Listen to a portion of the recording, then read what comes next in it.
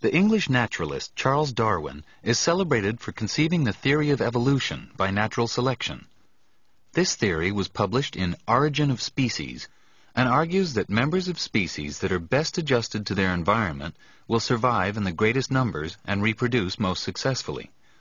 From one generation to the next, therefore, the species as a whole will evolve, becoming better adapted to its way of life. Darwin's theory is often simplified as the survival of the fittest. Darwin also put forward the idea that human beings have evolved from apes. Darwin was slow to publish his ideas because they conflicted with religious teachings at the time.